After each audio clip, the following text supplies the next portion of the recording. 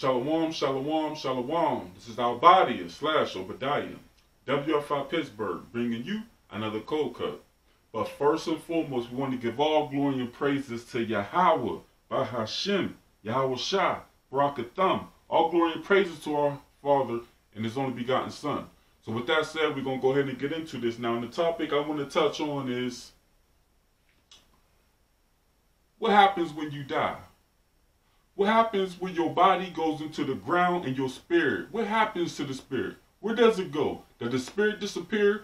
We're going to touch on this thing and give you clear answers on what the scripture says. Okay? So with that, we ain't going to even prolong it. we just going to hop right on into it, Israel. So we're going to go to the book of Genesis, chapter 2, verse 7. We're going to start there. This is the book of Genesis, chapter 2, verse 7. And the Lord God formed man of the dust of the ground and breathed into his nostrils the breath of life. And man became a living soul. And man became a living soul. So God formed man of the dust of the ground. Of the dust of the ground. So with that, we're going to go ahead and go to the book of Genesis, chapter 3, verse 19. Let's see what it says. This is the book of Genesis, chapter 3, verse 19. In the sweat of thy face shalt thou eat bread, till thou return unto the ground. For out of it was thou taken, for thus thou art, and unto thus shalt thou return. So we was created from the dirt of the ground. We was created for dust, and thus shall our bodies return. Okay? So, to make it more plainer, was created from dust, and when we die, our corpses goes into a casket or get cremated, but it still ended up going back to dust. It, it's, it's a carnal body, goes back to dust. Now let's find out what the spirit, what happens to the spirit. What happens to the spirit? Let's go ahead and get into that in the book of Ecclesiastes, chapter 12 and verse 7. Let's see what it says. This is the book of Ecclesiastes, chapter 12, verse 7.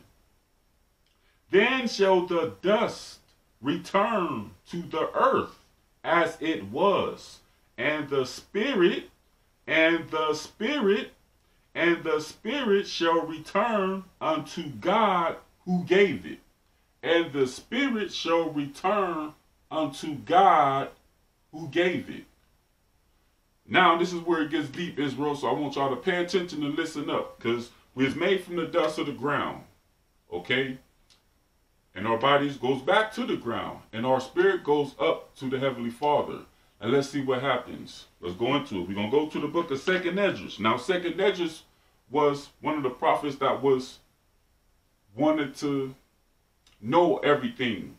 So an angel uriel came to the to Esdras and Esdras would ask questions. And a lot of these questions was deep too deep to the point where Esdras would faint and pass out Okay, so he, he had to fast on occasions for a certain amount of days or whatever to be able to intake this information. But Esdras was that type of prophet that wanted to know everything. In fact, Second Esdras is my favorite book. All praise to the Most High, because I, I want to know everything too. So with that, we're gonna go ahead and get into it.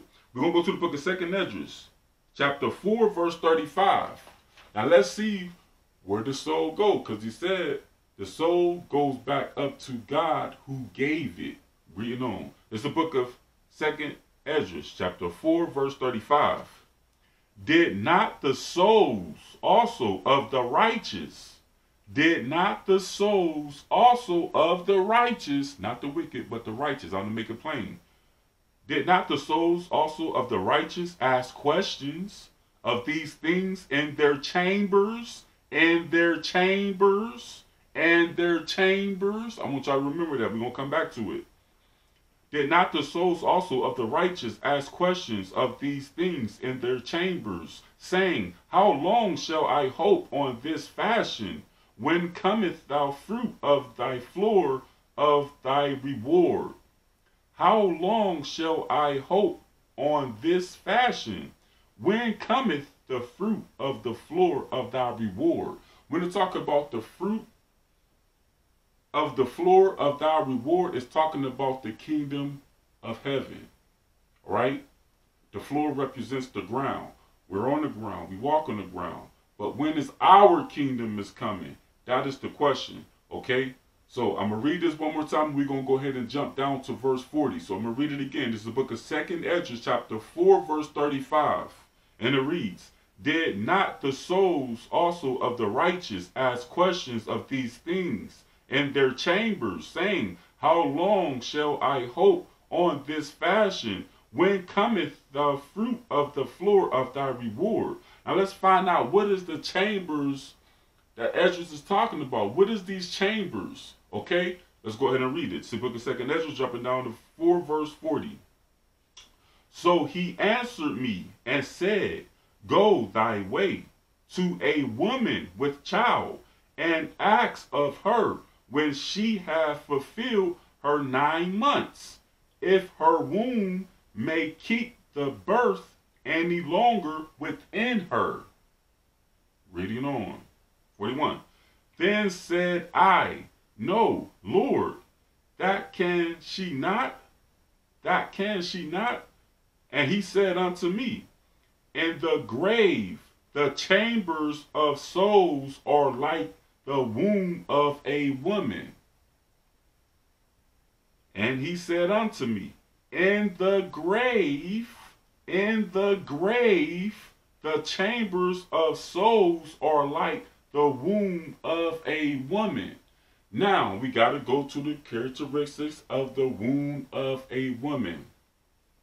The womb of a woman is nourishing, right? You get your vitamins, your minerals, right? You eating, you eating good, and you also bringing forth growth in the chamber of a woman. Now, there's no fighting in this chamber, okay? There's no good or evil in these chambers. Okay? We're given the characteristics of a woman with child. Okay? So I'm going to read that one more time and we're going to go ahead and move on. This is the book of Second Esdras, chapter 4, verse 40. So he answered me and said, Go thy way to a woman with child and ask of her when she hath fulfilled her nine months, if her womb may keep the birth any longer within her. Then said I, No, Lord, that can she not. And he said unto me, In the grave, the chambers of souls are like the womb of a woman. So,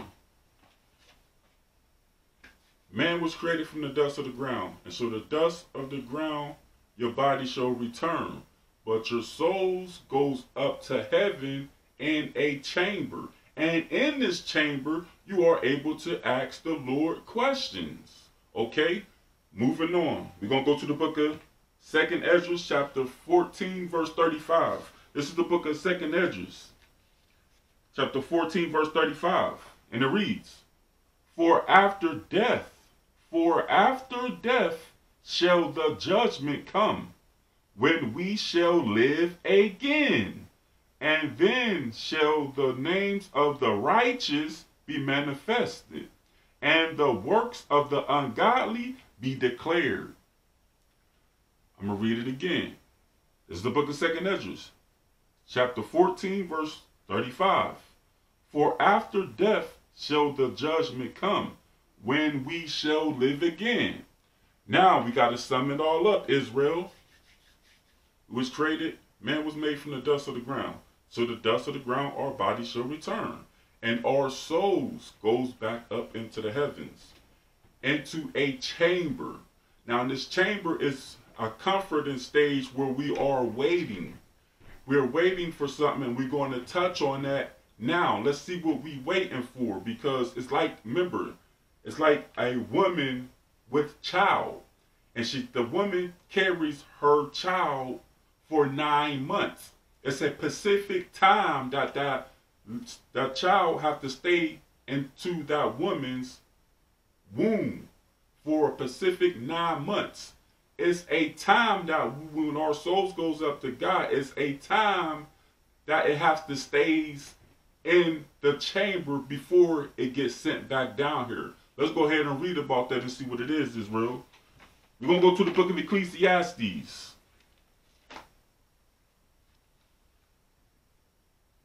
Matter of fact, Slocky, we're going to go to the book of Numbers.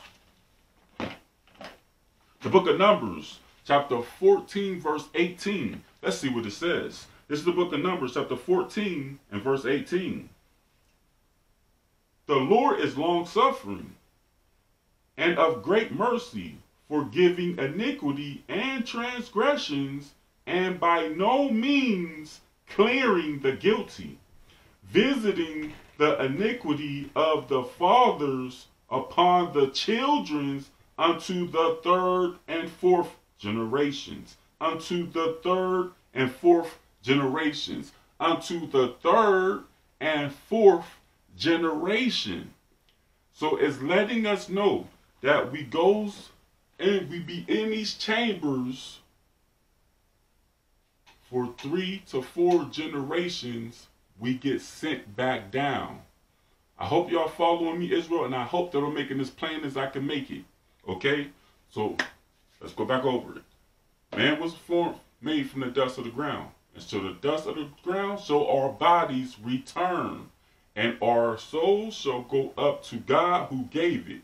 Our souls will sit into a chamber when we are able to ask questions. And at the same time, the Most High God judges us and send our souls back down here, back into the woman's womb when we shall, she shall give birth and we shall be born again. When we shall be born again. Now, let's go ahead and move on, Israel. I hope y'all still with me. We're going to go to the book of Ecclesiastes. So I'm all over the place. The book of Ecclesiastes, chapter 1, verse 11. This is the book of Ecclesiastes, chapter 1, verse 11. And it reads, There is no remembrance of former things, neither shall there be any remembrance of things that are to come, with those that shall come after. With those shall that shall come after. So it's letting us know that life rolls in a cycle in a cycle. In a cycle, Israel. Okay? I'm going to jump up to verse 9. Ecclesiastes chapter 1, verse 9. The thing that has been, it is that which shall be, and that which is done is that which shall be done. And there is no new thing under the sun. And there is no new thing under the sun. Quick recap. God formed us from the dust of the ground, and our bodies shall return and become dust again. Our souls goes up to God, and we go into this chamber. And we wait into this chamber for three to fourth generations when the Most High God judges us and send us back down here. Now, when we come back down here, we do not remember. We have no remembrance of the former things. Okay? We don't even have the remembrance of the questions that we asked the Lord. Okay? So, we come back down. We don't remember anything. And it starts that cycle repeatedly, repeatedly, repeatedly. As he said, there's no new thing under the sun. Now, I made this video quick and short for some of y'all to easily grasp. And I hope this video was edifying. Okay? I didn't want to bring too many scriptures. I didn't want to go too deep with it. I just wanted to stay on the surface for y'all to understand because a lot of our people wonders on that. Where hap what happens when we die? Okay, they do movie documentaries on these things. Okay? But we getting it straight from the Most High. Okay? Who created us all. So I hope I made it plain for everybody to get and every, for everybody to understand. This is what happens when our souls die. Now, this is no means of talking about the second death. That's a whole nother thing when we get judged overall. This ain't talking about the second death. This is just talking about right now when we are still in the first death. When the water of the um, flood in Genesis happened, that's when the Lord, when the Most High God flooded the whole world, That was the first death. The second death will be by fire when these nuclear weapons come. That's a whole nother topic. I'll leave that for another day. I just wanted to tell y'all and give you clarity on what happens to the body and the spirit. And now, hopefully, Lord willing, you will have more clear understanding. So with that, I'm going to give all glory and praises to Yahweh, by Hashem, Yahweh. All glory and praises to our Heavenly Father and His only begotten Son. So with that said, Shalom.